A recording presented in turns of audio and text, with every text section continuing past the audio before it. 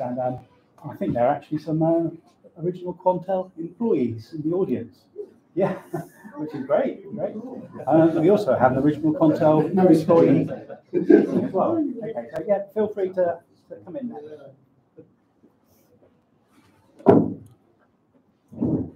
Okay. Um, this talk is being accompanied by an exhibition that's downstairs, and the exhibition is uh, has been put together in collaboration with the Computer Art Society, which I'm involved in. And it's one of a series of regular exhibitions here in Phoenix.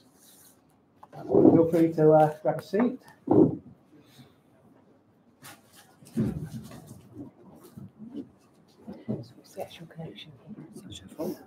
Um, which began um, a couple months ago with an exhibition by Ernest Edmonds. We're now doing the Quantel Paintbox exhibition, and next month we're doing an exhibition involving an artist, Phil Brown. So if you find today interesting, hopefully maybe you'll join us for a future one. Um, the artwork downstairs has been curated by Adrian Wilson, who's put together a representative selection of work um, showing really, I suppose, well, you'll explain it more, but the really the capabilities of the Quantel Paintbox, um, which was a pioneering um, electronic image manipulation device predated what we might regard as the de facto uh, image manipulation device, Photoshop, by many years. Um, Adrian, as an artist, photographer, user of Paintbox, has lots of interesting things to say. And it was really a collaboration between him and the ideas of putting this exhibition together and the Computer Art Society in this venue initially. We thought, yes, we can turn this into something that I, I think is going to grow beyond what we've already done. Now, we also have Kim here, who was a original Paintbox employee and an artist who works, um, has worked, I say works, has worked with the Quantel Paintbox and continues to work um, in graphic design. I'm sure she'll explain more about her work. What I hope will happen today is that this is part of re-triggering interest in the um, Quantel Paintbox. It was also part of maybe starting to get recognition that this device was very important in the history of computer art and design. And we're doing the exhibition here. It's fairly small. You'll see 20 pieces downstairs. We're taking it down to London, where it's going to be on show at the BCS, British Computer Society's offices. And I think next year we'll do it bigger somewhere else in a gallery. I don't know where, but we'll find somewhere to do it. Um, and I think the interest is going to just grow and grow.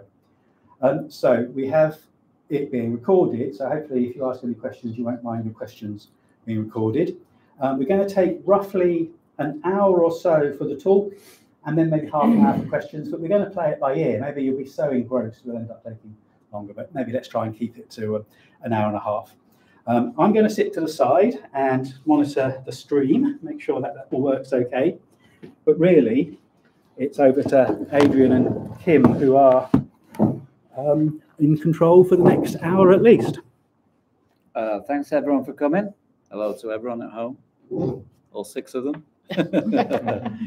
so yesterday I got the opportunity to interview Paul Kellar, who you may have heard of, who uh, a humble guy, but basically he was very involved in the creation of the paint box. And before heading to see Paul, uh, I have the New York Times on my phone. I opened the New York Times, and there was Farhad Manjoo, who's the uh, opinion columnist, but he's the technical expert, the New York Times. And his article began Photoshop is the granddaddy of image editing apps, the OG of our airbrushed, face tuned media ecosystem, and a product so enmeshed in the culture that it's a verb, an adjective, and a frequent, frequent lament of rappers. Photoshop is also widely used. And I was like, really? You're the tech guy from the New York Times, and you think that Photoshop is was the beginning. the beginning. So that was kind of bizarre to read on the day that I was going to interview Paul Kellar. Today, I picked up an edit box. So 20 years previously to that, in 2001, a guy in Soho uh, ordered an edit box, which, as he reminded me today, he could have bought a small flat in London or an edit box. And he bought this edit box and when the guys delivered it, the DHL or whoever it was, they were walking down with their trolley down in Soho, and some guys came up and said, "Oh, that's for us." And uh, the guy said, "Oh, great! Here, you want to sign this piece of paper?" And um, it was in the news how These- these guys had had nothing to do, had no idea what a paint box was, and uh, stole this this uh, edit box. The next day, Victor had a brand new replacement edit box because that's what Quantel did. That's 2001. Uh, now we all heard about Photoshop being um, the granddaddy of them all, but I like to remind people that Adobe didn't exist when the paint box was launched. It didn't even exist as a company before it was launched. So, and we had obviously this uh, video paint box in 1981, but in 1985 there was a photo quality paint box which you worked on and demonstrated, etc., um, which literally by five years um, uh, was the uh, de facto photo, uh, what we call Photoshop now. And in fact, this lady here, I first became aware of her work because she was on the front cover of a book that was called Paint boxed. So, and that was 1993, I think, wasn't it? 1994, I think it came out. So, paint boxed was actually a verb for years Yeah. before Photoshop was. Now, um, the bizarre thing is, I, I almost think of it as a Pandora's box. So, two years ago, um, I was doing some uh, ridiculing of NFTs in New York, and I, I was spraying post no NFTs in New York. And a friend said to me, You know, everyone's looking for this early digital artwork. And I said, oh, I've got a box of that stuff in my mum's attic in Manchester. And uh, me and Duncan, who's here, uh, we were lucky recipients of, of a paint box uh, that was given to, there was three paint boxes given out to be shared between nine art colleges in 1985 by Quantel. And uh, I worked on it from 85 to 90 as a photographer and basically did what we now would call Photoshop. But at the time, you couldn't you know, email or, or you couldn't Google who else was doing it. Um, but it turns out I was the first person in the world to do that. But I had no idea. Now, I've got that stuff out and it's become a Pandora's box because people say to me, How have you found David Hockney's original artwork? And I go, Well, somebody had it in their attic that, that was thrown out by Quantel. And somebody said, How have you found this work from Keith Haring? And the Keith Haring Foundation said, "Hang on a minute, you you you telling me that he flew to Rome six months before he died just because he wanted to go on a paint box, and he spent three days while he was suffering from AIDS. You know, he was going to shortly die, and he went there specifically for this. How come we don't know about it?" Yeah. And I said, "Well, I read about it in his diaries that uh, you published. That he talks about it, and at the end of his description of it, he goes." Paintbox has revolutionized the way we see about art in the world, and why hasn't anyone noticed? Which is the quote we use on the uh, on the poster in the book. Um, and it's really weird that from 1989 to now, whether it's a New York Times supposedly intelligent person who knows his his onions, nobody knows We need to tell them. so, so what's weird is, uh, I I tend to apologize because I do come across a bit like Tom Cruise uh, on the sofa at uh, Oprah's, and I, and it's just weird to me because it's all this exciting stuff, and nothing against any other computer art, but this is really interesting stuff. It's you know titles for Max Headroom, it's uh, it- you know videos, pop videos, all these things, um, and nobody knows And we're not aware of it. They're not- That's the thing. they're not aware of it. So, for instance, you'd say something like, okay, well, there's the um, anchor dancing cows, which, as John Morell points out, when the anchor dancing cows came out, his mum called called him and said, "Hey, John, I've just seen this amazing ad, and they've trained these cows to dance." And he said, Uh, Mum, that's the company where I work. Well, that's what we can make cows do. uh, and then you get Silence of the Lambs, uh, the poster for Silence of the Lambs. Uh, that was done on uh, graphic paint box. Uh, the Nirvana Baby, the famous Baby album cover. Um, I pointed out to people, well, that was done on Paintbox, actually. And somebody said, yeah, why was, how, how was that being Paintbox? And I said, "The- the, the dollar bill and the, the hook wasn't actually in front of the baby, you know, at that time. underwater. So yeah. So it's really weird to me that all this stuff is out there, and what's amazing is, you know, a bit like, you know, Scientology, you know, like, uh, excitement. People, once they see it and, and hear about the effect it had, um, they're just completely amazed. And the people, which is quite a few people in this room, are all just like, like me. We've all got the proverbial, like you, We've just had a box in our attic Yeah, box. I've got a whole vault full. of stuff that we just did. And Yeah. we didn't realize we were doing amazing stuff. And we didn't realize that we were laying the foundations for the internet and everything. I had a guy who, who I did a demonstration of the paint box, and he said, Has anyone done an NFT of the paint box? I was like, No, you can come and do an NFT of the paint box if you want, you know. And he came down and he said, Great, I'll, I'll take away, a, I'll come and get a JPEG. And um, I said, No, no, you can't, sorry. And he said, "Why not?" I said, "The JPEG wasn't actually invented yet, you know." so it's funny, just like the whole thing is just to me is is is hilarious, but also I feel, uh, in not a weird way, but I've I've ended up channeling all these people and become this conduit that, that's just Yeah. come out, and it's not for any other reason that I just sprayed this anti NFT thing on a wall um, and it's just it's just crazy. Um, so I would guess that lots of you have familiarity with the paint box, um, but obviously we'd like to explain, you know, where it originated. I don't know. Kim Kim said I'm worried because I don't like speaking, but I said don't worry. You know, nobody's nobody's scary here. So They're terrifying. Look them. for, for people who are watching, uh, uh, and obviously people out there who don't know. So, and I think Peter, Peter's here, right? Let's put your hand up, Peter. There you go, Peter. I don't. Please, if I'm paraphrasing or get dates wrong or, or whatever, Yeah. I, I apologize.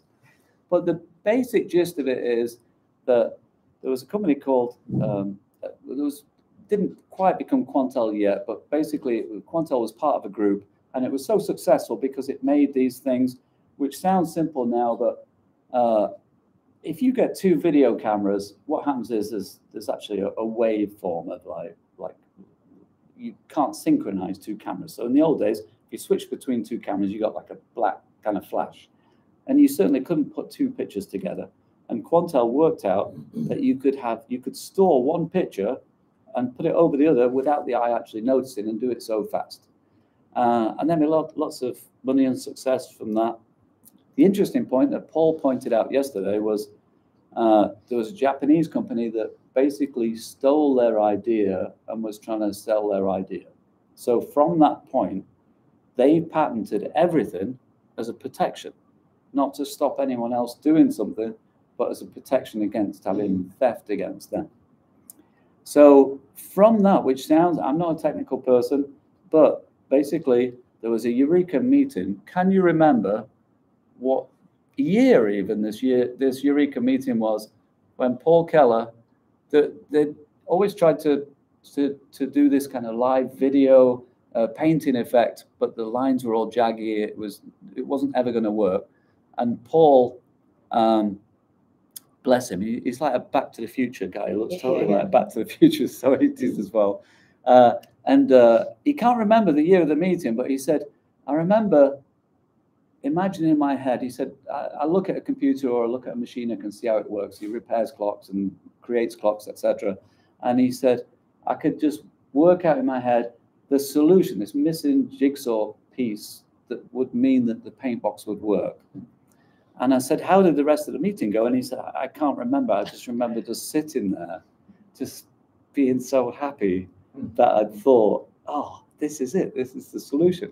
Can you remember even the year of that Eureka meeting? Were you in that meeting? No, there were about uh, three or four people in that meeting. Uh, The first time we showed a painting, but it was very much like the Sinclair Spectrum of 1976. An IBC meeting, broadcasters yawned, they didn't know what they could do with it, and it was horrible. And it was put away for a few years until about 1979, 90. The, the meeting might have been about 1979, 80.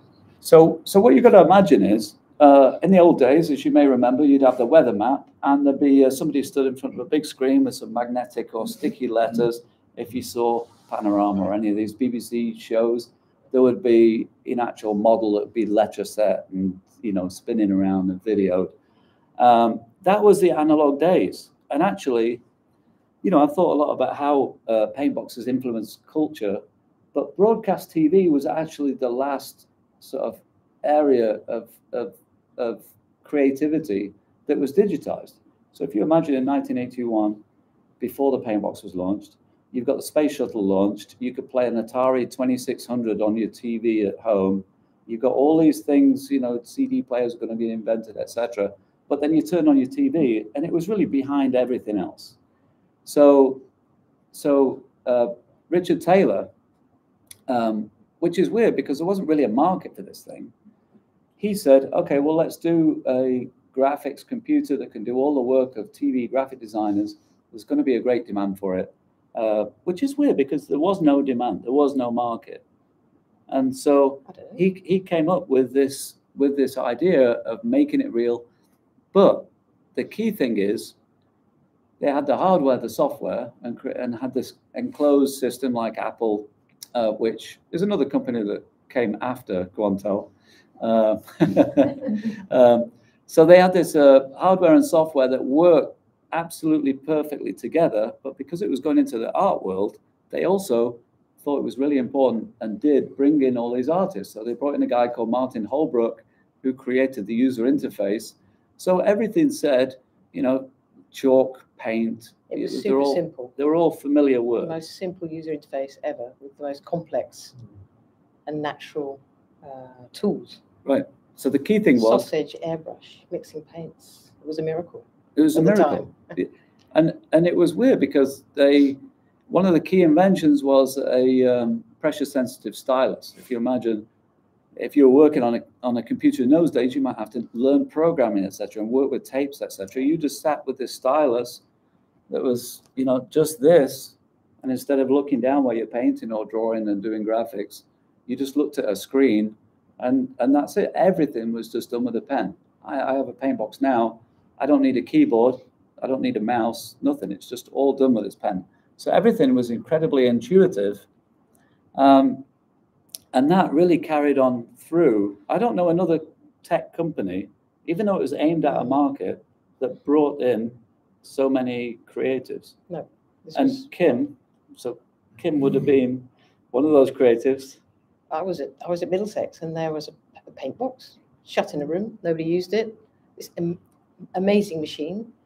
You know, at the time, uh, there were machines, computers that printed out black and white numbers. You know, and that was all exciting. But this was a, a paint box, so you could you could take a shot of something, put it in the paint box, and paint on it. It was interactive. It was amazing. It was the, it's like a digital thread that started back. This was, I think, 1983. I was an undergraduate, so it was absolutely amazing. It was revolutionary. I remember graduating with paint box art that I mixed with mixed media and printed out. It was only one MB, so it was very jaggy, really, even though we had a soft edge paint uh, paintbrush. Um, it was amazing. So I went straight out of college into launching MTV because MTV Europe was launched in in the early 80s, and there was no one that could make this stuff. So I ended up rolling out the brand, which was really weird. I was about 19, I think, 20, because of Paintbox, because I could, because I could use it. There was just nobody that could use it because it was such an expensive machine. But because we had access at school, you could basically go anywhere in the world and get a job where there was a paint box, which was about, I think there were about 50 at the time in the world. So I remember doing all these TV titles live, live animations on the end of a pen. Very weird. Um, and thinking, well, maybe it's an idea to go and ask Quantel. Perhaps I can work for them, you know? Because I'd heard that they flew you all over the world to show people how the machines worked. And uh, sure enough, that's what I did. And uh, it was amazing. Company credit card, 21, flying over, waking up in Japan thinking, where am I? Oh, Japan. Fabulous. You know, showing uh, the new software or hardware that had come out. so whether it was a carousel or a HAL, you know, it was absolutely amazing because I had no idea what I was going to show. And I, it was so intuitive that I could actually edit with it and show how a Harry worked or a Henry worked uh, live at that moment. So it was so intuitive that you didn't actually have a practice run. Like at NAB in America, which is the CES now, um, there were several machines launched two years running. I remember being sitting there with 600,000 people walking by and having to animate something on a carousel, having never seen it. And it was so intuitive, you could do it. Absolutely amazing. Small miracle. So yeah, it's yeah, I mean it is an amazing machine, and It's um, hard to unthink where we are now. That's the thing, I think. It is, you know, we think about pre-internet, and we've sort of got Yeah. past the idea of you know before digital, and we think about you know before on your phone, but all those things all came from, you know, I, I give the analogy with with uh, interior design. Uh, you know, our grandmothers in back in the day, or us, or whatever, we'd have no idea about interior design, but there'd be all these TV makeover shows, and all of a sudden we've got an opinion about. Well, we've all got an opinion about that that grass stuck on the wall, and you know the color of you know this wall or whatever, because we've watched all those shows. And the thing is, as much as we talk about screen time now, people in those days would sit for five hours in front of you. You come home from work and you sit for five hours. You watch the early evening news, and then you watch all those shows and you watch the titles, etc. And all those digital graphics. Um, the often the quote often given when you would go with Quantel and you'd say, "Hey, you want to buy this?" and it, it was literally a quarter of a million dollars or 150,000 pounds, and they say, "Well, that's a lot of pencils," and there's, Yeah. and that's true. Yeah. Um, and obviously, there's It some was a lot people who, who couldn't afford it. Um, but there's an, a great interview in, uh, funnily enough, the New York Times, ironically, where the where they're talking about the Olympics in 1984, and certainly there were there were sporting events then which would drive technology like now. You know, we're all used to seeing the World Cup and there's the, the line for offside or you know spinning around. Sport has always driven broadcast technology uh, and the Olympics. And uh, anyway, there's a guy from I think the boss event ABC talking about I think they own 12 paint boxes or whatever, and he said, "Well, the thing is, when we have good graphics, there's two reasons why we want good graphics. We we can explain things a lot better, clearly to our viewers, but actually the bottom line is we get more viewers." And it was kind of a throwaway line. And obviously, it's great if you get more viewers, you can charge more for your advertising uh, and you're going to beat your competition. Well, the only reason you're going to get more viewers if you're using a paint box is because that's more interesting graphics and it's better graphics.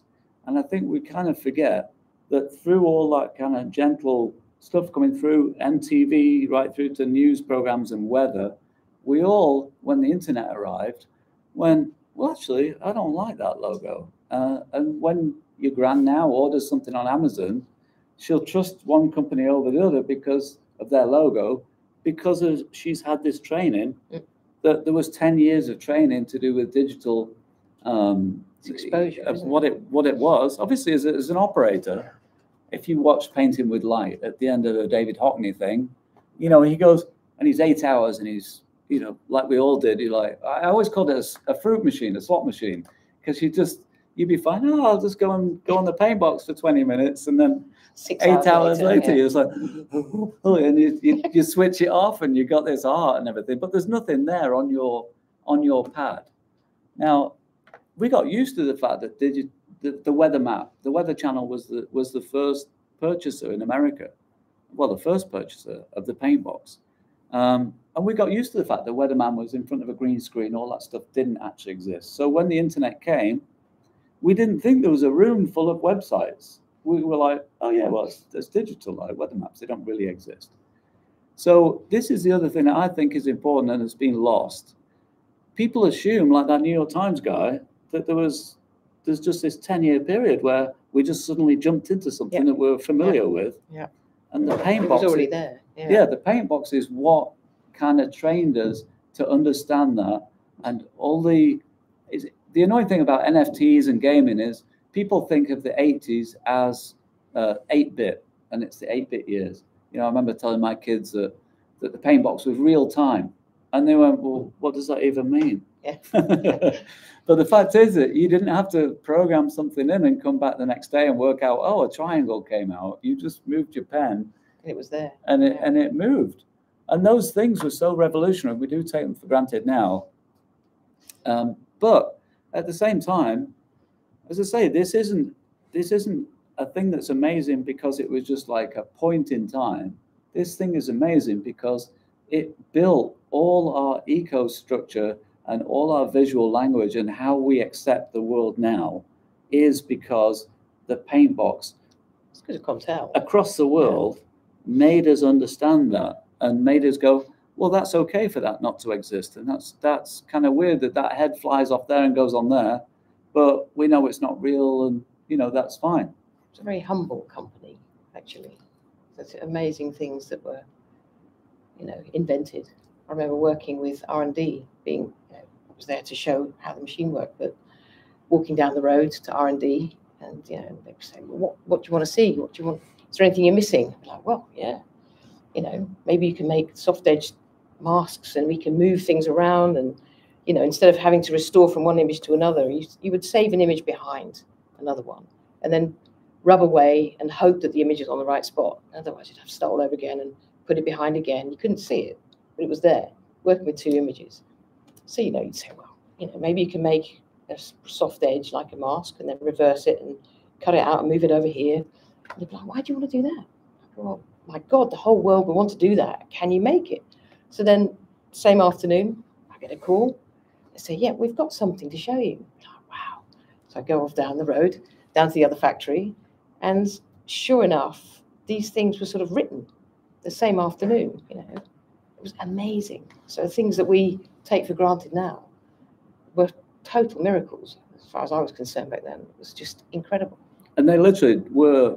Uh, I think Duncan, what didn't John say there was something like 35 or 50 artists working full time doing demonstrating for for Quantel. Yeah, they had, they had a. So there's that. There's, as Kim touched on before, there was these three paint boxes given to nine art colleges uh, with all the peripherals as well, which you know is like a million pounds worth of uh, of work of, of equipment to given up, given away. But nobody was said, "Oh, do this, and you have to do this." You know, this is Quantel, and you have to put our logo on or whatever. Like you say, we were lucky because actually we we kind of like we saw the interest and the you know we were hooked on it because it was interesting for us Yeah. most people, to be honest with you, in colleges dismissed it. My, my photography college uh, lecturers dismissed it as a fad. I wasn't allowed to show it in my- Guys, in my degree show. It was like, that's not really work. I'm like, what do you mean that's not really work? It's You- digital, you know? You couldn't sell digital It's the art. There was, there was no digital art. It wasn't considered. You know, it was, it was very low on the scale. You know, it was, it was mm. either dismissed as commercial art or gimmick, or or it di- it didn't exist even. But there's an organization called SIGGRAPH as well, which is the best. It's like the Oscars of, of graphics world. Mm. You go through their archive now, and there's maybe five or ten pieces of Quantel work of any type for the last 20 years, which is crazy. Even they. So that that's what's bizarre for me. Nam June Paik, who's a famous uh, video uh, Mm. manipulator artist, his own museum. There's a picture that's literally the the the Quantel paint box um, palette, and the the curator said, "Oh, they've stuck like some 16-bit thing on there to make it look like a digital piece of art." They don't know. No. Um, I think it just accelerated enormously at a certain point when everyone could do this themselves at home, you know, and it all went to pieces. and it So yeah. you have to go back in time and explain as you're doing, bring it, you know, showing what happened and where it's come from. my analogy would be Google's search engine. None of you No. will ever see the hardware, who makes it, No. from Google's search engine, Yeah, it's but it affects your whole life. That is the impact that the Paintbox did to the world, and nobody knows. Well, there were two fridge freezers that you had to take with you if you had one. It Hmm. was huge. it was, you know, you've got your laptop like this now, but they were, it was massive. Yeah. Of course, that's, that was a thing. Yeah, so so to us, it's It got smaller. It got smaller. so our our quest really, you, you know, and it's just something we all. This, this is the other thing, Quantel, uh, uh, Peter, is everyone looks back on Quantel with rose tinted spectacles, like they really do have this love for it. Now I Yeah. understand most of them in their twenties earning five hundred dollars an hour, so they're they're going to go, hey, that was pretty good good times. Um, but for instance, like that edit box where they just got a replacement the next day. I spoke to Chris Smith Fantastic. and he said, "Oh, we'd have customers and their service contract ran out, and they need, you know, a card had broken or needed replacing, um, we just replaced it anyway. Yeah. And you know, it was a really, it was a company that I, I think that really, you you well, the way we look at technology now, thanks to people like Elon Musk and actually to an extent Steve Jobs, where you're this, you know, money-driven company that's really about manipulating other people um, and getting you hooked on technology. Paintbox and Quantel was the exact opposite of that. In Mm. fact, a couple of times in the last last couple of days, I said, well, Paintbox is kind of like AI because if you had an idea, you know, if you're Keith Haring and say, hey, I want to draw this, whatever, you could just do it really easy. So it was easier than actually getting a, a marker out and, and Yeah, doing it In a weird way, it's quite similar moment in time, isn't it? But everyone has shot me down and said, it's nothing like AI. And I'm Mm. like, why? And they said, because AI basically makes you look like an artist when you're not one. And so they had a, a even though they had all this amazing stuff, curves and all the things that you see on Photoshop now and all the things you could fix, there was no undo button. Oh. And uh, now there's a technical reason for no undo button because it actually is quite hard to undo it and you'd have two layers. And the joke was that Paul, apparently, I think it's a bit of an urban myth, when he was asked why there was no undo button, he said, well, you, we can't undo our software and hardware. And, and he said yesterday, he said, basically, anyone who asks for an undo button as an artist is not a good artist. You know, if you're doing a watercolor or a painting, you don't undo anything. No, you can't. Yeah. And just because you can undo something doesn't mean you should be able to. Uh, and that's something that we've got used to now. You can fix anything. And when you're working in uh, in TV, you you have no time to say, well, I've got this fourth option that I did, you know, there, and can I go back five levels and whatever? Because the director's shouting at you saying, hey, you know, MTV, you know, throw up Yeah. the, the icon now, like it's got to Yeah. be this. And you know, Korea just won a medal at the Olympics. You know, put that graphic up.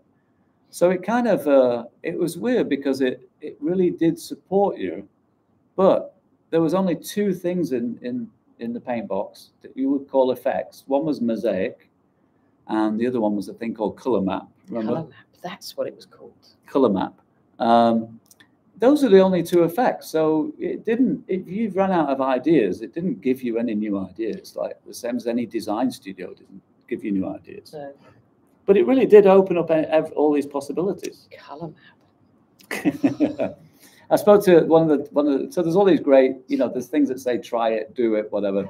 And the, if you wanted to change the color and add curves and you know levels and contrast it had a thing called fettle and it's such an English word. But that was all Battle. later. That was like quite- that was later on. you that was on the DPB though. Yeah, but it's so I said to Alec like where where did the word fettle came from? He said oh I came up with that. It's like when you do a casting of a, of a of, in a mold and you got the bits on it and you just knock that off it's called fettling But that's what Um, used to happen at the R and D. You know, they come up with these wonderful things and call it sort of distract, distract, extraculate thing, and I'm like, what do you mean? Isn't that cut and paste? You know? But they change it to, to yeah, what you yeah. said. right? That's what happened. So it was a really complicated word. It was an engineering term. You know, it's like, oh, I don't think we're going to understand what you're on about. right. We changed the name. And it is weird because, you know, you you wonder, okay, you're in Newbury, you know, we've just been to Newbury and it's just surrounded Middle by fields. Yeah. I mean, it's just the grass. I know Grass Valley became, you know, part of it and took it over. Yeah. But it's just it's just on its own as well. It's not. If you look at Silicon Valley, you've got all those other support companies. You've got all that that system where you can employ other people and you know all go to the same bar and talk about it. Quantel was also bizarrely a world beater just from a little small town in Berkshire, which you know, and the paint box. That I think that meeting was, you know, it's two years from having the idea of the paint box, working it out to launching it. And I looked it up. The i the iPhone, I think it was six years before between coming up with the concept of the iPhone, least, Yeah. where Steve Jobs, by the way, said this will never work, and somebody actually kept working on it. Um, so that was six years, and this company came out with this working, you know, thing that took over the world in two years. That was not linked to Silicon Valley whatsoever, and in America. So it, again, it's just the whole thing is just an unbelievably startling. Like it doesn't even seem to make sense that, No. that this has happened. You had to fly around the world to tell people. It was back in the day. That's the only way to spread the word. So so yeah, basically they obviously had this fantastic product. It sold like hotcakes, um, and and I think it, it- I mean there was waiting lists, wasn't there? Really? Um, I don't know. Uh, it was. It was. I remember there being a, a difficult period. Uh, we were at NAB, and the graphic paint was being launched. There was one in LA, and it suddenly began to hit in America. And I think that we sold like seven, which was a lot of money back then. And so they asked me to stay and stay for like two months in LA, and I'm like, yeah, sure. And then just to sell and sell and sell, it, I think it really hit. I think that was 1987 which is, you know, quite early on, I guess. And it really took off from that point. And then, even at three quarters of a million guilders, so I was in Holland at the time after that, right, half a million pounds each. yeah, half a million pounds each. You know, they were selling like hotcakes suddenly. And the That's other a lot of money. And the other thing is, uh, obviously, the, the issue was that you had nobody to operate it. You know, ultimately, these were business machines. It got sold with the machine. Yeah. So, so Quantel knew very well Yeah. that if you were a demonstrator of this machine and you were paying half a million for it, they're going to say to Kim, who's you know working at Quantel and paid handsomely, but not as much. And also, they had a bursary scheme, etc., where they, they had like a free Pay wasn't great. Benefits were fantastic. You learned every all this new fantastic machinery got flown all over the world. Right. Um, yeah. and So- offered jobs all over the world. That was the thing. So when there was a paint box was sold, you were offered a job with a paint box. So I ended up going to New York, going to LA, ended up in Amsterdam. It's extraordinary. So I'm off. I remember wasn't very uh, faithful. yesterday I walked my uh, wife around Soho and I was explaining if you walk around Soho and you had a Quantel pen, you remember there's a whole thing with Mont Blanc pens and everyone's showing off. Oh You yeah, had- in your in your pocket. You had a little Quantel plastic pen. The people who knew, they were like, wow, that guy, that guy. so you were like the top of the It's funny, tree. yeah. I was paid 500 uh, pounds an hour uh, to free. So I did a, sh- I did a, a project. I hated doing post. I was doing my own photography, kind of manipulating and stuff. But uh, a guy called Matt Forrest, he was working on, I think it was Bell telephones, and um, and the idea was uh, it was an animated Einstein talking for 30 seconds and whatever. So everything was animated by hand. They had three paint boxes, and three operators were working. So it was 24 hours a day, eight hours each, 500 pounds an hour. I think it was three months. That was on one commercial. And actually, that's a really sad thing now because the post production industry really, you can put a lot that down to Quantel. Obviously, there's a, Yep. a history of film production in, in the UK. But because Quantel was here and our creativity as well, and the fact how our advertising worked and it was a bit more quirky, there's definitely a massive amount of influence that Quantel had. And post production companies would want the latest paint box or the version of it Yeah. to tell clients who would all just come in and you'd make a fortune. Yeah. Make a fortune. So, so yeah, we should. Uh, so, how are we doing for time? That's Good. I, I think it'd be really interesting if you could maybe talk about the exhibition and you've got that behind. you. exhibition. Oh, You go. can scroll up What and maybe exhibition? take us through some of the um, images and why you selected them. Yes. So what happened was, if, if you don't mind me being honest, you said to me, Adrian, I want to do a show of your paint box work at the Computer Arts Society. And I was like, oh. Uh, that's nice. Also very humble.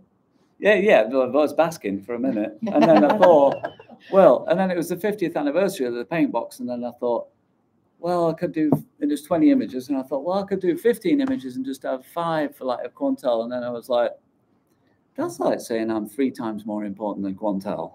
And then I thought, oh, well, I could have half the images for mine and half the images would be like mixed. And I was like, I'm not equal to Quantel either. So in the end, I just thought, uh, it's the 50th anniversary. I'll just pick. And from the archives that I've, got, I've managed to get and the connections I've got uh, and the knowledge, I thought, well, I'll just show the variety because it is annoying. It's, as much as it's amazing for me to enjoy, you know, all the stuff that's come out, it's annoying that people do just have this ignorance um, about what 80s art was. So one of the things, obviously, Keith Haring, uh, an icon of 80s. I don't know if you recognize this guy. He does graffiti and everything. So super famous. So what I did was, we did, um, we came up with this list. Now, Paul has never done anything like that. He wrote um, the introduction to the book, which to me is absolutely astounding. And filming him yesterday, and it's the 50th anniversary. It, it's just great that we actually get all this stuff written down because uh, I think it really adds to it. So obviously we talked about Paul coming up with the idea uh, in that meeting, um, and then Keith Haring. So I don't know if you can you can read that, right? I should read it for people who can't. Every time I use a graphic paint box, I rethink the whole concept of an image. The computer has cho- totally changed the whole concept of what composes and defines a picture space. Now, the other thing is, you know, talking about art, people are now talking about NFTs and you know the influences of art and how it's changing and what's real and not. All of this discussion was going on in the 80s. You, you know, I remember reading this this French artist talking about, well, I've done this art on a computer, but I don't own it. The computer owns it because all I see is it on a screen, which is not really the computer, it's a Yeah. screen, or I get a print and that's not in the computer anymore. It's no So- original. So the computer has it. Mm. It it's it kind of it's my copyright, but it belongs to the computer. So all this philosophy about what we're talking about now about when whether NFTs really exist again, well, art doesn't exist. None of this art exists. That that doesn't exist. It's just zeros and ones, which we're all used to now. You look at your phone, it's just zeros and ones. It's not a picture. So, Paintbox owner, I managed to get. So uh, this was only two years ago. I did this graffiti. I've now got a paint box, done this show, met all these amazing people. Yeah. I mean, it's it's it's just It's first time we meet, by the way. nuts, nuts. It's really weird. Um, We put this book together, but and then obviously talking about digital. the designer. So Kim, as much I was I was a peripheral uh, character, even though I did something interesting. Um, it was a struggle, and it wasn't uh, as significant and involved as what you did because you were at the factory. You were advising people on what to call things and changes to make. Then you were flying around the world. Then it, you know all the stuff you've done. Um, it's you know it's way you you're way more uh, important in the He's doing it story. again. Um, You've cur- curated. so what I this. did was so somebody said to me, "Hey, well, if you're going to do a show, you're going to get loads of women artists," and I was like, "There are loads of women artists." this is the other thing, you know. that is the funny thing. Back You- then, you know, there were at the beginning of that technology. It was the most incredible thing to be young and female and travel the world. Nobody, it, it didn't happen. I met men everywhere. Sorry, it sounds terrible, but there were only men everywhere. So whenever I would turn up in Japan with a paint box, they would put me in as Mrs. Someone and expect the husband to be there to do the work, you know. But he wasn't there, obviously. It was just me. I'm like, it's just me. But so that it was, was 'cause- extraordinary to be to have you know, to have that exposure and independence at that point. because the broadcast industry is a very male-dominated, you know, techie kind of. Oh yeah, you know, Yeah. oh, this is Back- RGB. Certainly that back then. know. I've had to learn stuff. That there's a thing. uh, RGB is not CMYK. It's RGB. You have three color signals on your TV. So I get these three cables, and I said, "But this cable says yellow. It doesn't say green." And they said, "Well, yeah, but that's actually green. It's not really yellow. We just put yellow on it, but it's like green, really." And you just there's the whole thing, and you know, there's this distrust of designers. Yeah. This is actually the. Uh, I know this is going off this again, but the paint box as well. Uh, I spoke to a guy called Michael Katz. He was a union leader in New York. So the other thing is, all these broadcast uh, industries, it was all still unionized. So you've got this machine that comes in that, in theory, is going to destroy Yeah. the graphics department. So how could that be a successful machine? And Michael explained it. He said, "Well, when you're in the when you're a graphic designer, your pay grade was a certain way because you created something that then was filmed by the cameraman and then it went live. The cameraman got more money than you Yeah. because that was going to the screen at home. So you were like a set decorator or or anything like that, or a makeup artist, because what you did was filmed. But he said when the paint box arrived, our pay shot up because all our work went straight online. And he said the bosses were happy. So the unions were all really happy.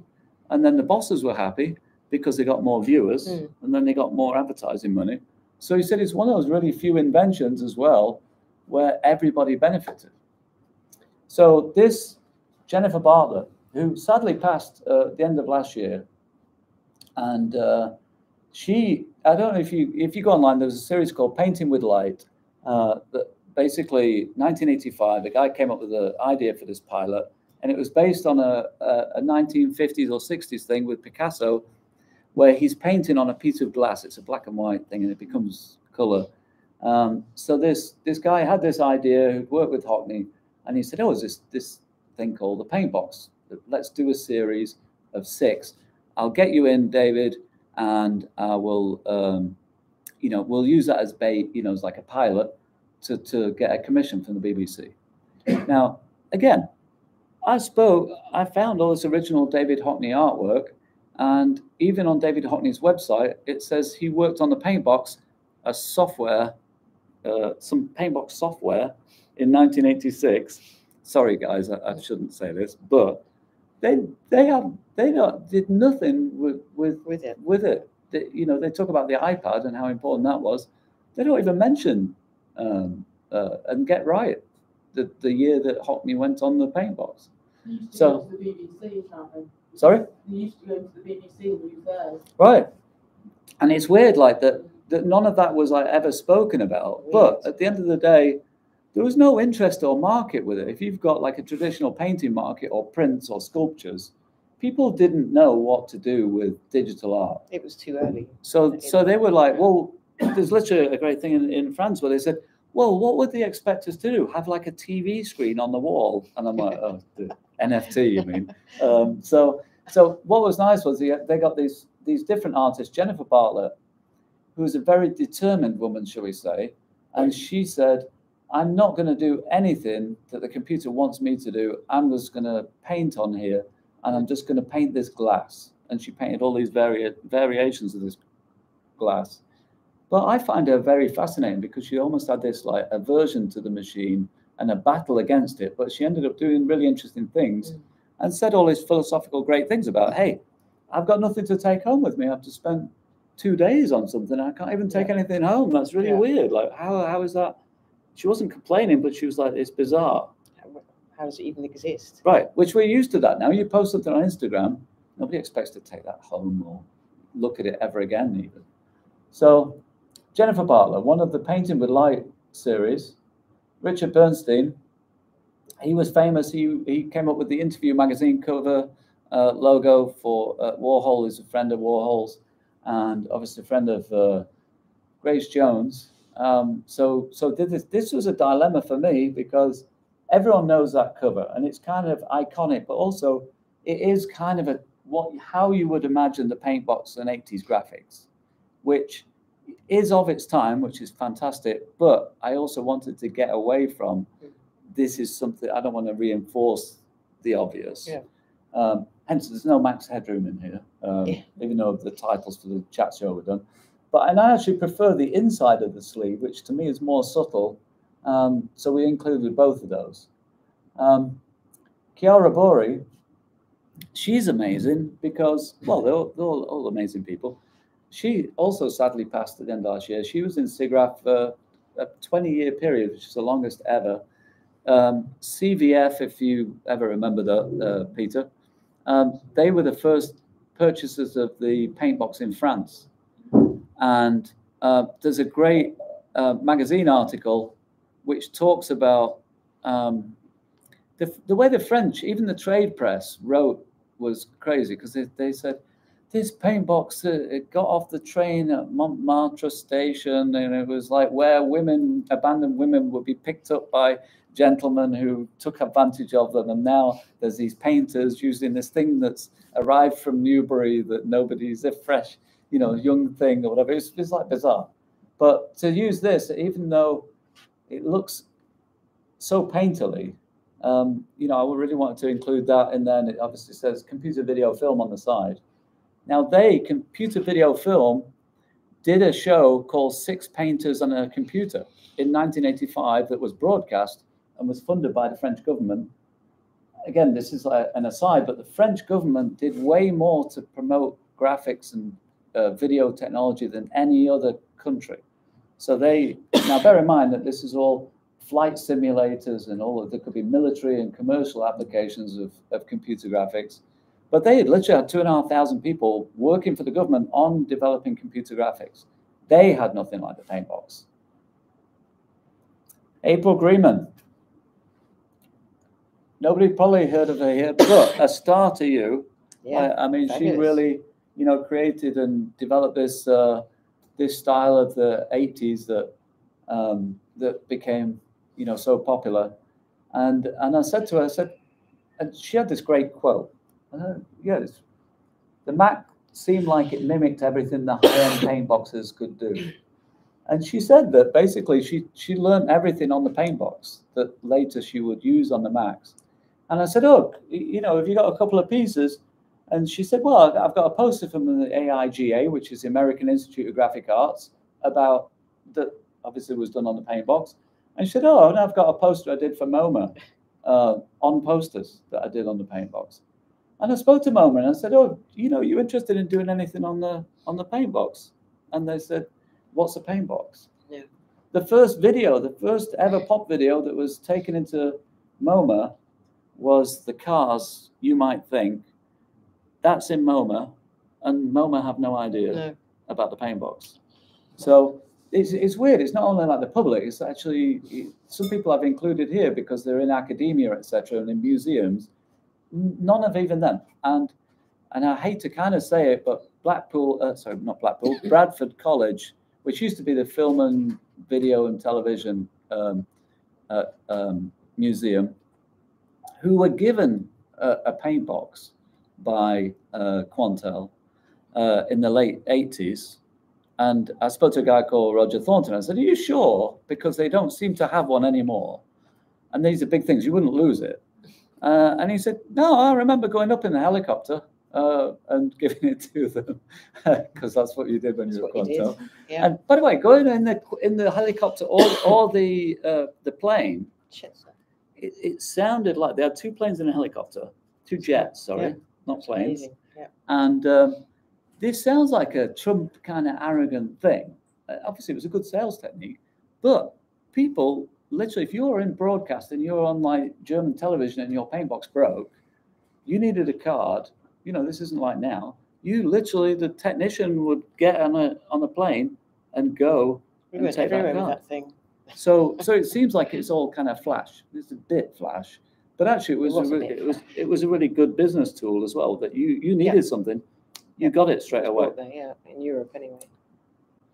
Richard Hamilton, the father of uh, British pop art, Yeah. or the father of pop art. Uh, so he did in the 50s or 60s this, this classic uh, classic uh, montage in the old way, which was obviously cutting out pieces of paper and like we would do at school. You know, you get magazines and put these things together. So uh, the BBC asked him to do an update of it. I think it was 92 or something. So he did this version, um, obviously incorporating things at a time. Yeah, I think there's Margaret Thatcher in there, and uh, um, obviously talking about AIDS and things like that. Uh, replaced the TV dinner with a microwave dinner. Um, so you know, it's funny because basically people were trying to promote the um, the paint box as this amazing tool that you'd never seen. You, you'd maybe see it now and again on Tomorrow's World, but it, because it was always behind the scenes, nobody really knew about it. Keith Haring. Oh, so crazily, I spoke to the guy and he's like, I've got a 30 minute documentary. I've got eight of these illustrations, got the original Polaroids. I've got, you know, 10 animations. Some of them aren't even finished yet. Um, so I'm actually working with the Keith Haring Foundation who knew nothing about this and taking Keith's original work because it's on the Betamax tape, putting it onto my paint box, restoring it back to the exactly how it would have looked, you know, using the color matching and and the what you call jaggedy edges. So to me, there's there's also an important thing in art where there's a uh, a digital fingerprint. Now you could say, well, we could do all this on our on our phone, and I do point out, well, yeah, but your phone doesn't. You know, the paintbox didn't try and get you addicted. It didn't give you viruses. It didn't try and steal your bank. Well, actually, it did steal your bank account because it's quarter million pounds. But um, but the thing was, it definitely had this kind of digital fingerprint. And so that's what's really nice that all this stuff is appearing. When people say you can do that on Photoshop, actually you can't. No. Because it, it isn't like that. And the guy who had the NFT he said, you know, I did him a, a TIFF instead of a JPEG. And he said, Well, can you send me a high resolution one? I said, I did send you the high resolution one. And he said, But it's only like, you know, 768 by 567 pixels. And I said, Because it is Yeah. only that. so, and that, and to me, that's the charm of the paint box. It's that it, it's that age. You know, if you get a Model T Ford, you don't put a big, you know, electric engine in it or whatever because it's not a Model T Ford anymore. Um, this David Hockney.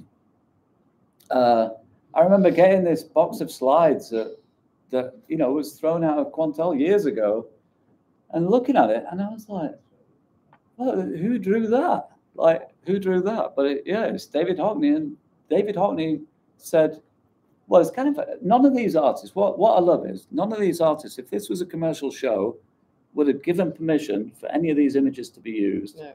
But because it's for a non-commercial computer art society show, they're all behind it. Every single one of these artists have said, we love to go in this show. And in fact, artists that I didn't include, like Howard Hodgkin, are like, can we be in the next one or whatever?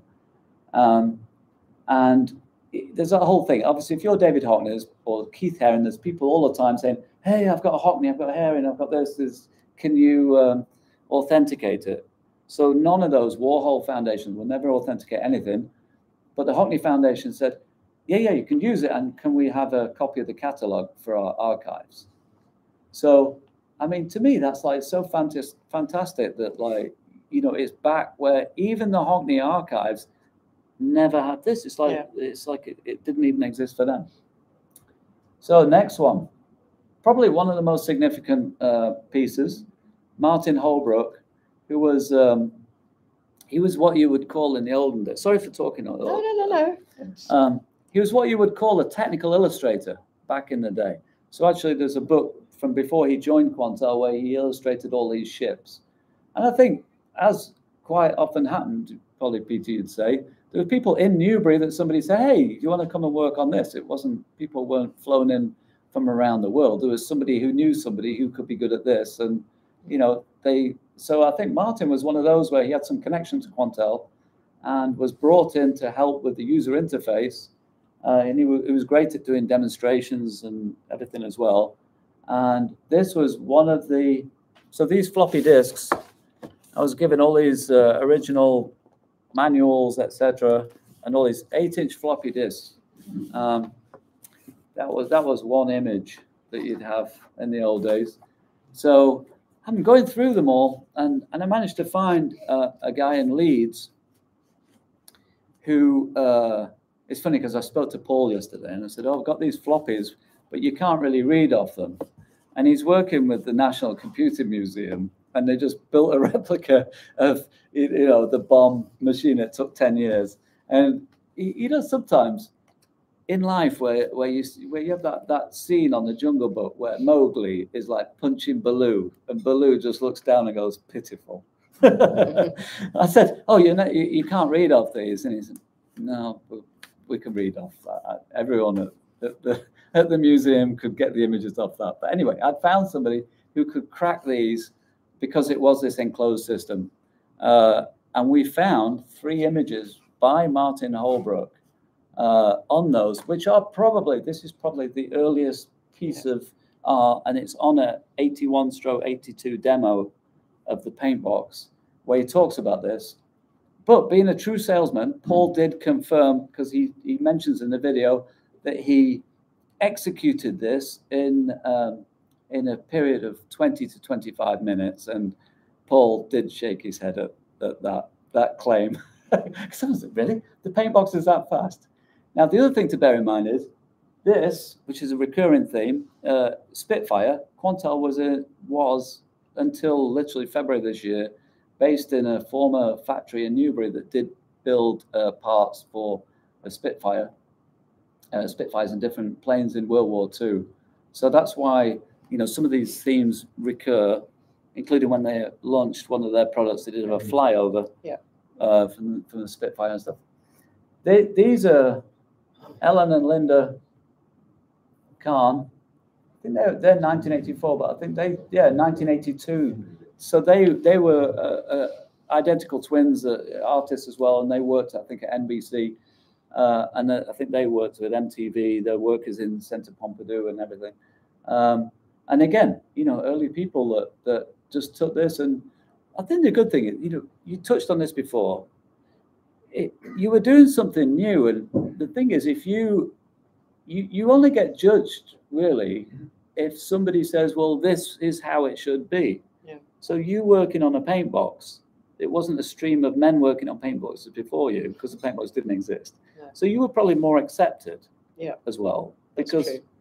Because you had to accept the whole concept and a woman It- yeah, working on it wasn't wasn't any unusual thing. There's Leah, Lu, Leah Luban. Uh, also, I just say as well, contacting, uh, getting in touch with um, Martin Holbrook's daughter, for instance. You know, there's all these connections where people have never seen their father's art. Uh, to to have the last talk I did um, was really nice. It was you know one of the director's birthdays that the daughter-in-law told me and things like that. Um, so to have these people who their own father they've never even seen their work uh, is really amazing. So Leah Luban, uh, she amazing activist woman.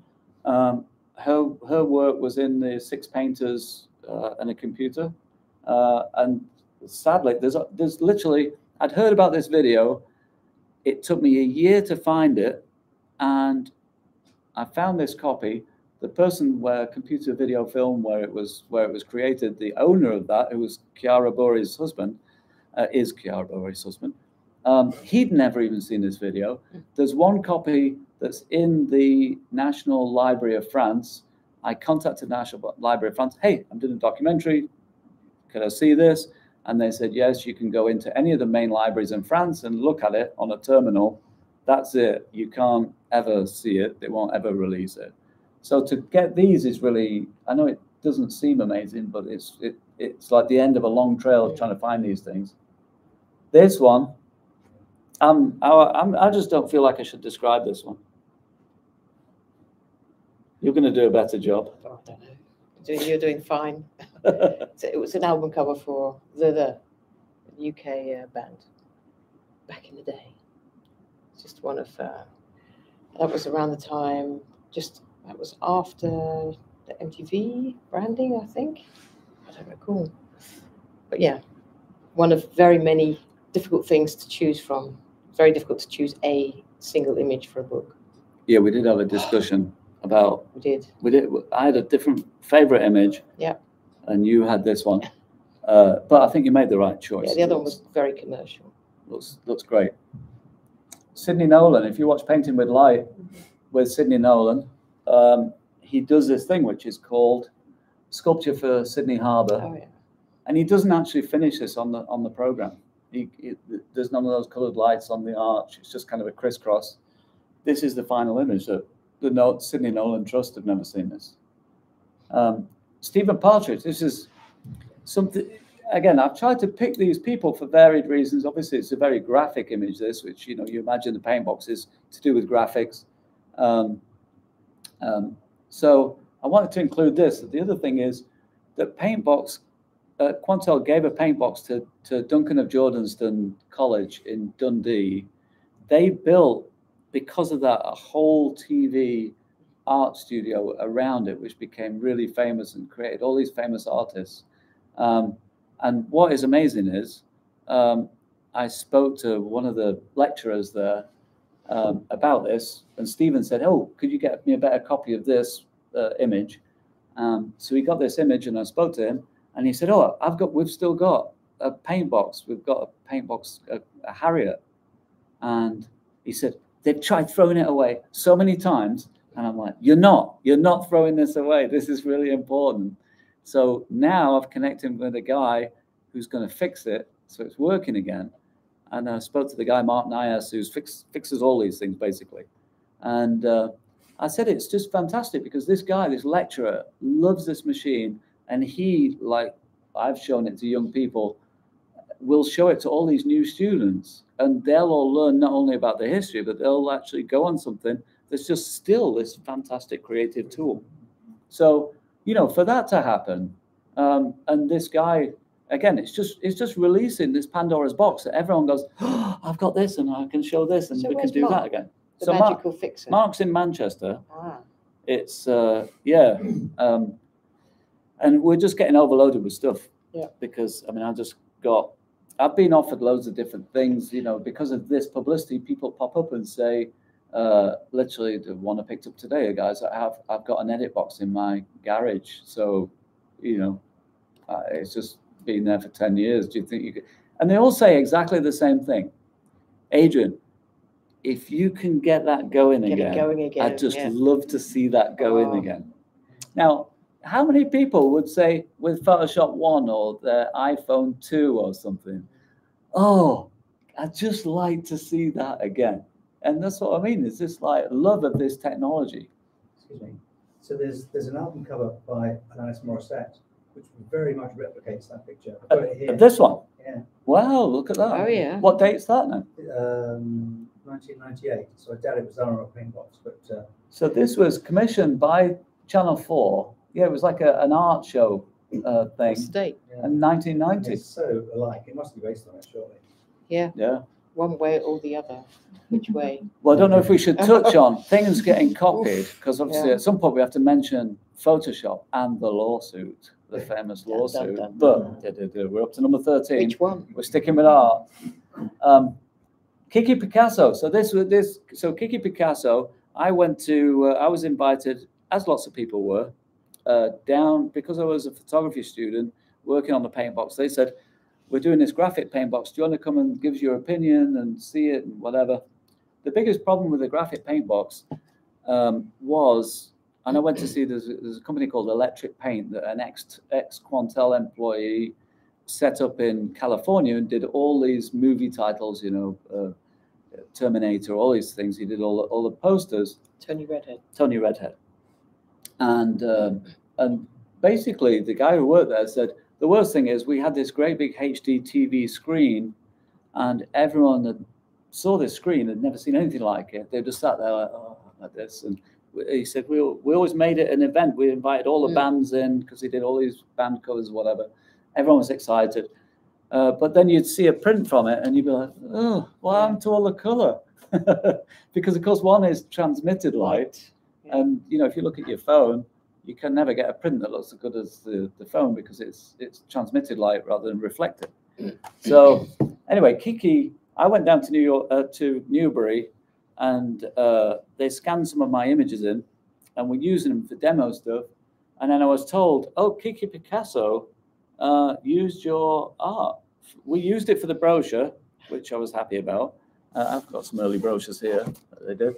Um, but Kiki Picasso used your work for, for when he was on experimenting with the graphic paint box, and he bought one.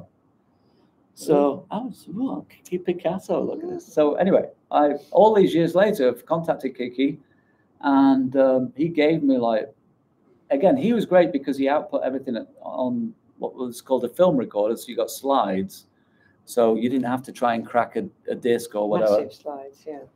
So uh, we picked this image, uh, which was a bit of a dilemma, to be honest with you, Mm. because obviously that's uh, Nelson, uh, sorry, Nelson Mandela, Desmond Tutu.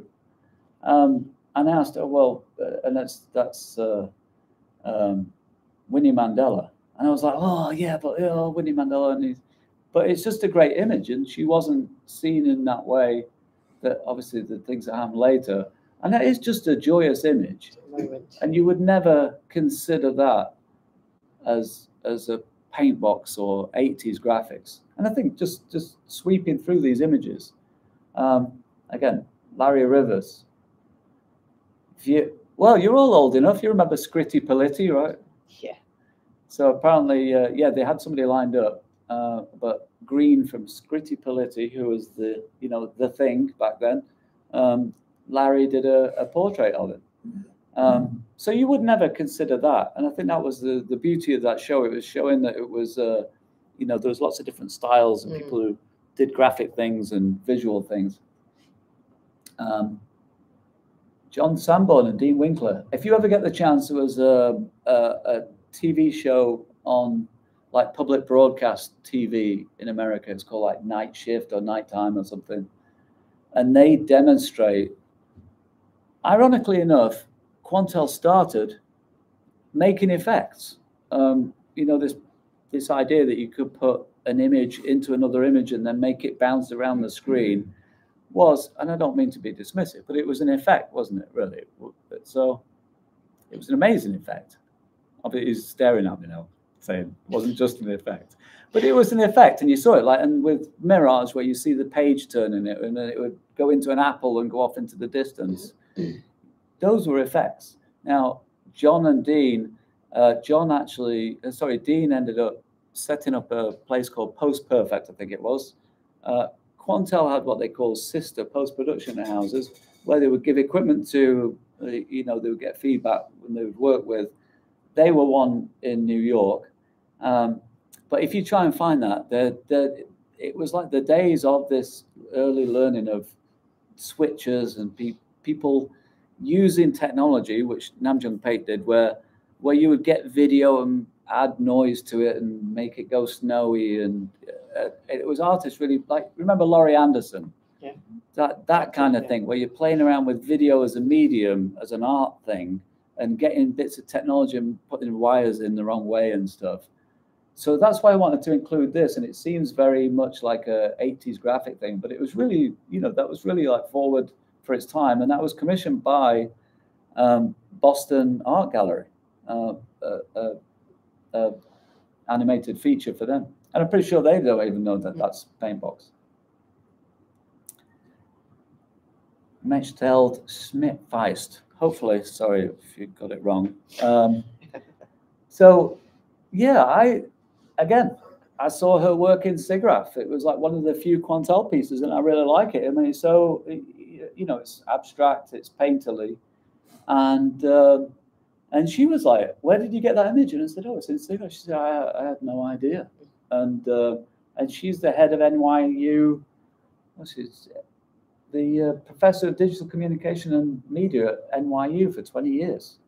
So that's the other thing. It launched amazing careers as well. And again, you know, people weren't stereotyped or pigeonholed um, just because they're male or female.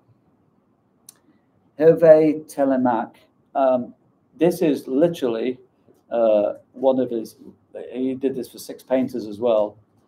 Now, Kim was worried because as much as I talked about everything being low resolution, this is a screen grab that I took off that really badly, you know, distorted video that I found. And Kim said, "Look at it. It's going to print terrible. It's going to print terrible." Now, and when I was at college, when the paint box arrived, I, I was at college with my best friend here, Duncan, the best man at a wedding, all this kind of stuff. We've known each other for years, and he was like a typical photography student, not typical, you know, boring, but what everyone was doing was shooting on 10 by 8 transparencies. It was like, oh, we're going to do 48 sheet posters. Don't ever shoot on 35 millimeter. You know, that's for amateurs. You know, this is how big our transport. Look at this. And then, of course, I'd be like, oh, look at this. You know, mm-hmm. like and it's one pixel, you know, wide. So obviously, they dismissed it as being just terrible quality.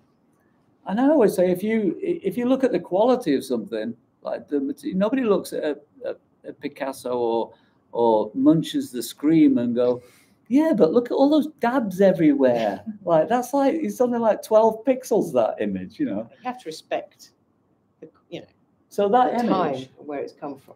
if you look at it, and I said, well, everyone's going to look at it from ten feet away as well, anyway. But I don't know if you can see, but on the top left, there's the monitor, and there's the the pen that's going that he's drawing on, and that's his self portrait of him in a kind of a cubist way, doing something on the paint box. And I think it's just a fantastic image. And if anyone says, a bit like, I'm going to take Paul's attitude. Everyone says, well, it's a bit fuzzy. I'll say, well, you, you can't appreciate art then, can you really? It was probably one MB. You know, it's that classic thing. If you go in an art gallery and you remember the frame around the painting, it's a crap painting. Uh, the trouble these days is that obviously with desktop publishing, you know, with InDesign, you could miss, you, know, you could swap out a JPEG, a low res. You know, that's the thing. So someone might, what happened to these? Are they low res JPEGs that have Right. swapped in? A bit like the auto auto correct spelling. But I also consider, like, if you found a piece of art that was like, I went with my wife today with the Tower of London, and you know, we saw all these different, you know, think, historic things over the last day. Now you see something that's ancient, you know it's ancient, and it, if it's all damaged and rusty or whatever, it kind of adds to it, right? So I don't see why digital images. Uh, uh, of course, at some point I was like, the Keith Haring thing is interesting because I'm going to restore those, and I want those to be. Oops. I don't know if that's, is that me? Um, the, the, what I love when you zoom into a digital image is that you do see that jagged edge. And actually, that's just Photoshop or any viewing device. It's just you zooming in. The, uh, and actually, if you try and print it that size, it just goes fuzzy. So actually, I've worked out a way using uh, uh, a very analog solution, which is zoom in and do a screenshot and stitch them all together You can do of showing that. But the obviously, I did some tests thinking, oh, I'll put it through Topaz and all these different things, and it adds artifacts and it adds all these things, which would be cool if you try and show what Topaz does. But to me, the fact that this is from a completely there's only one of these videos in the world and that looks like that, that adds to it. It does. It's not detrimental. Oh look, there's there's me. so that's Ian Clark on the left uh, of that with his mouth open. Uh, this, I should say, is before the Queen album cover, but obviously it's so much better than me. Um, and uh, to the right, you know, both of this was really about my, my, you know, I was confused really because I was doing something that nobody, nobody as far as I knew was doing it, and I couldn't Google that anyone else was doing it. I assumed people in America were because in those days and bearing in mind, I was I was in a warehouse in Manchester, so I presumed everyone else was doing it, and I had no clue. Because in those days, if something was was in Creative Review, uh, you know that's where you would find your work and see what other people were doing. But no one was doing this kind of thing, um, and there was no market for it, uh, and it was hard work. It was a pain in the neck, to be honest. But what I like about this, why I've included this image, is because it says Adrian Wilson New Photography. I hadn't, nobody had given me the name for it yet. so it wasn't called Paintbox yet. It wasn't called Photoshop yet. It wasn't called NFTs yet or, or AI. Um, Who's the person in the image on the right? so the one on the right, that had taken it um, back in the day uh, when, when we were at college, you would use, uh, in fact, Lisa is here, you would, you would basically do shoots for hairdressers because basically in those, in the 80s, you know, with Vidal Sassoon and everything, they'd be doing all these, you know, bizarre hairstyles. They'd have these great models, they'd do all the styling. And of course, as a photo student, you couldn't afford to get somebody to do that. So you go to these hair conventions and stuff, or hair, you know, award-winning things, um, and pho- and offer to photograph those people. So that actually was this woman from that that had photographed. As you see, it's actually a strip of 35 mil film that's kind of spiraling. And obviously, I could read. I, I, I was 21. I'm sure I didn't think that much into it.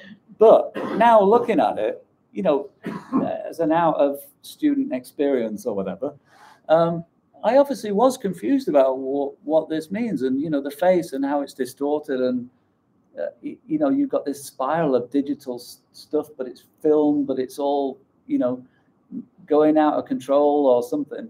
So, you know, I didn't necessarily think all that at the time, but obviously I also was confused by even what I was doing. Um, and you can't, you know, you were saying before about doing things that were commercial. I couldn't do things that were commercial because people say, "What is that?" Yeah. And they'd say, "Oh, can you do a get?" You know, like when Terminator Two came out, "Oh, can you do liquid metal?" And um, I did a James album cover, and it's it is liquid. It's called Gold Mother, and I did liquid metal, and everyone's like, "How did you do that?" And I didn't tell them, uh, but I reflected a, a picture in some tin foil because that's how it was. And somebody said, "Can you do this head coming out of the like Tron and revolving round and going back down. And me and a friend did it, um, Chris, using some fishnet stocking and some lith film and said, well, yeah, it's computery and oh, it's two weeks to render it, you know, like whatever. Because because I did Paintbox, people no said, one knew. yeah. And they said, oh, you do computers? You do computers was a phrase. Yeah. So- really, yeah. So yeah, you were you were kind of cutting edge, but also it was weird. In one sense, everyone thought you were amazing. In another sense, nobody had a clue what you were doing, so you had to describe everything, which is your Mm. job. Um, so it was, it was it was I wouldn't being first or being early on, early adopter. It wasn't for me. It wasn't. It, it, it was a lot of effort. and It was very tiring, um, and so I quit in 1990. Um, and then this is Brandon. Oh, bless him. So so on on the user interface, uh, it says Quantel Paintbox. I actually want to change it so it says uh, TikTok beta or something similar. So young people don't realize it's old software. So I said to Brandon, um, and he basically designs AI and all this kind of stuff, and uh, you know VR. He's into all that stuff. So he said, "Oh yeah, I'd love to come on this." Literally within five minutes, he's working away, and uh, I said, "Oh, you know," and he said, "Firstly, the user interface that just says painting, chalk, graphics, whatever." He said, "This user face is exactly like I work with a lot of beta software, beta software, and this is how it looks before they make it look branded and everything. It's exactly like this." And I said, "I do warn you, there's no undo button." And he said, "Oh well, it's funny that." I said, "Why?" He said, "Well." we have this thing where we're designing for the VR community, and there's this piece of software, and it had no undo button on it, and everyone's like, "What the hell?" And they said, "It's virtual reality. You have to get it right first time." And I was like, "God, it's Paul again. It's Paul." and uh, and apparently on Discord, they they berated the software people for six months, and finally said, "Okay, we'll put an undo button in." So I thought it was kind of hilarious that there was these links to now, and obviously that was done. Uh, last year, uh, the end of last year. So I also wanted this wide spectrum to also be chronologically Yeah. wide. And one of the things I want to do, and I'm doing, is just inviting any artist to come on this, because a they'll fall in love with it, and you know everyone who uses it pretty much does, um, which is great publicity, and it also a bit like a classic car. If you've got an E-Type Jag and you just put it in the garage and you don't drive it, I mean, this this should be used. So that's what I I feel privileged that I can bring that to people as well. So that's that's my list and why I chose them. And I think it is. If you looked at that, some of it you wouldn't even think it was digital art, and you certainly wouldn't equate it with 80s. And you may even look at it and say, hey, that's got to be 90s, really. That's afterwards. You know, well, that was 90s, sorry. But yeah, I think that's a really good um, time to maybe stop for a bit, but I don't think we should necessarily finish unless people have to leave, because I think we should have some questions, or maybe we have a discussion and let do you, do you, well, do you, do you want to add I'm happy. to any of that? No, do you want to add to any of the? uh, By the way, uh, yesterday, just to, so let me, so the end of this, everyone, everyone says, oh, well, Quantel failed as a company. And I say, that's, can I use the word bollocks? People on the internet Sure, won't know what you bollocks is, will they? So that's bollocks. Firstly, name any technical company, any technology company like Nokia or, or you know, even Philips now don't even make anything, didn't make CDs or, you know, for years. How many technology companies are going after 15 years and their product is is still working? Quantel lasted longer than that. They world dominated for 15 years. So, you know, to base something off Apple or, or you know, these two companies maybe that might have survived is wrong because technology companies just through market changes or you're relying on one invention don't. Um, so the other thing is that if you look at, so what happened was, uh, Quantel got got sold and bought by different companies, so they have a different management structure. So as Kim described, the way that the and how Chris said, how how the customer was treated, how staff were treated, how it was kind of like just run for a passion, really. You know, people will say who work there. I know um, uh, he said yesterday he didn't plan to make a business. It wasn't to make money. It was that they they just really enjoyed what they were doing, and it was kind of a byproduct that was because they, they invented something so great and successful. Um, but Quantel never acquired. You can correct me on this, but they never acquired any other companies. And in fact, uh, I said to Paul yesterday, you know, why didn't you uh, think of buying any other companies? And he said, well, we did think of buying Apple. and I said, really? He said, yeah, yeah. There's like maybe for like you know a short time we thought, oh, we'll buy Apple, and then I said, well, why didn't you buy them? He said, they weren't really going to add anything to our company, Uh, which sounds like a, an arrogant statement, but he said we wouldn't add anything to theirs either. They were a different sphere.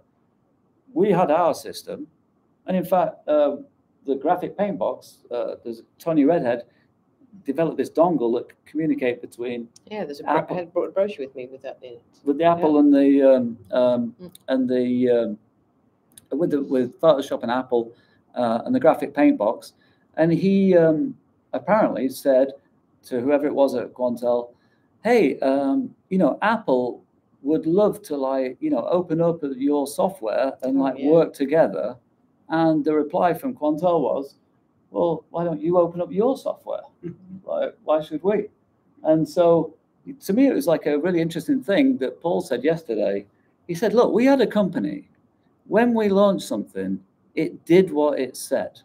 Like, we didn't make any promises. There was a famous uh, uh, uh, uh, broadcast show where Quantel had done this 3D Mirage thing that could create all this 3D stuff.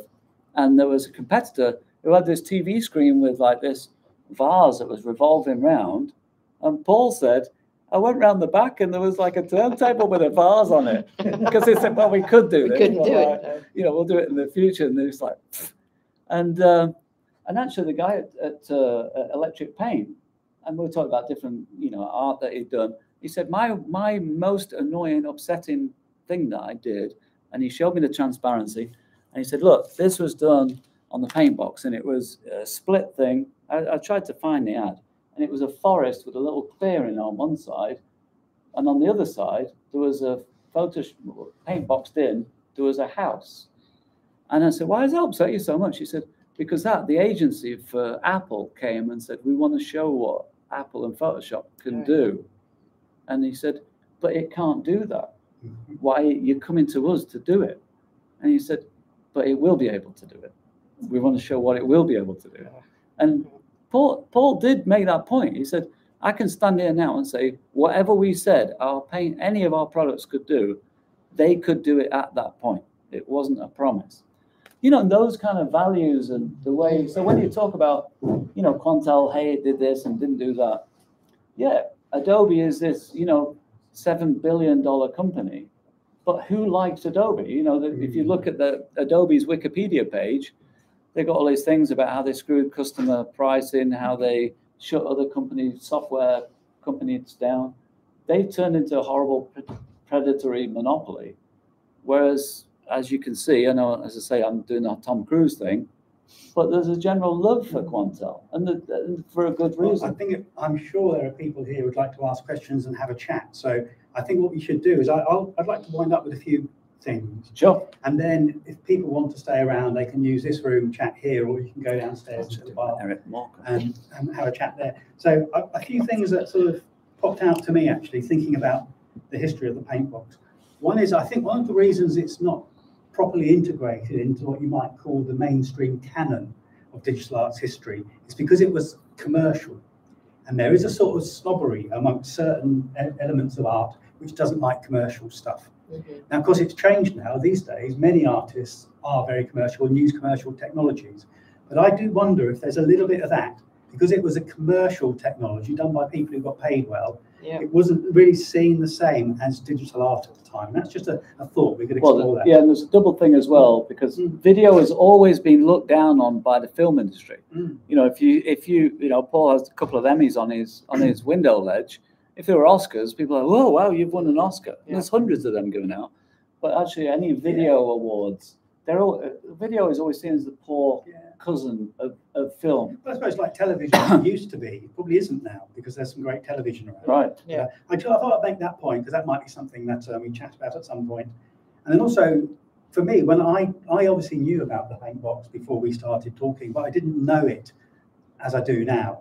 And um, I think that uh, really, uh, I think interested me was the idea that the paint box established a medium. It was a piece of technology, but it enabled you to do things that you couldn't do before. Yeah. And it started to d- develop this digital art, digital manipulation yeah. medium. And I think that to me makes it a very interesting piece of technology. Because if you look at certain technologies now, maybe you look at NFT. I'm not a great fan of NFT. It sounds like you're not as well. One of the problems I find with NFT is that most of the things I see that are being turned into NFTs don't inherently use NFT as a medium. They don't- Mm. don't do something special. Mm, They really just see it as a way of distributing work and monetizing it. Yeah. And what that's valid. People need to earn a living, but it doesn't make the art better, No. as far as I'm concerned. So the thing I liked about Paintbox is that it established a medium, and the artists started exploring the medium, coming up with a new language. And there are these images. We can make sense of these images because this language that they're using Right. has been established. Yeah. It's a foundation. Yeah, it's developed and Yeah. everything. So I want that. Um, and also, I wanted to make a general point. If anybody has an old paint box they don't want, um, the Computer Arts Archive, the projects um, I run with various people here, would be more than happy to look after it. So just um, So would I. That, so it's also on um, So would I. recording. Yeah. Well, one Um, again. And then another important thing is that this is a, um, a catalogue that um, Kim has produced for the exhibition. You can get this catalogue for free online. You Go to the Computer Art Society website. You can download a nice PDF and um, distribute it however you wish. However, what you can also do, should have um, put one in front of me, is that we have a limited number of printed copies. And I'm going to put these on the Computer Arts Archive shop. But I guess as we've got them, if anybody was interested in buying one, I'm sure you'd be happy to sign them. Oh, yeah. Yeah, and they're going to be ten pounds each. But like I say, the PDF is free, but if you'd like a physical book, it's there. And I think likewise with these, these haven't even been signed yet, but we have produced an exhibition poster, um, which you'll both hopefully sign as an archival print. And we're going to sell these online in the shop. But I think if people wanted to take them away now, although they wouldn't have any packaging, wanted to buy one, we're going to be selling those for forty pounds each. And the reason I'm doing the selling bit at the end is because we don't really, in this one in particular, we don't have any financial support for these exhibitions. And the Computer Art Society is part of the BCS, British Computer Society. And some of the exhibitions that we've run, we're starting to get some funding through. But this one, we sort of took on a life of its own. So it's out of that sort of funding cycle. So we're using these little bits of fundraising to cover some of the costs for the exhibitions. But like I say, you can download it for free. I'm not going to do a hard sell on in any way. Um, so And it should point out that the, this, these, hot- this Haring, nobody, Well, that's the thing seen to this say, that Haring you've got approval for us to use it, you won't see that anywhere that, else. that's, that's the world exclusive release of a Keith Haring Mm. that no one has ever seen. That, I mean, and basically, I'm allowed to print it for the Mm. exhibition, but that's it. So, Print- print- print it? We're- forty thousand. We've got si- we've got sixteen of the posters, for the, um, and we've got thirty of the catalogues for sale, I've printed, um, fifty. Um, so they are going to be limited, we might do some more for the next showing of the exhibition. Very but little. It's not Yeah. going to be um, huge numbers. So if people are interested, go to the Computer Arts Society website and we've got a shop there. We could even go to the shop there on your phone and purchase them here. Um, and maybe some people even use cash. I don't know. Actually, we should do a vote now. Would, would it, would people prefer to, obviously Keith can't mm. sign them, mm. but would people prefer that we sign them or, or they were left blank? Whether you sign them as Keith. Oh, yeah. What, what do you think? Well- Who thinks we should sign them? Because we curated the exhibition. Hands So up, on please. the poster, Oh. Who thinks we shouldn't sign them?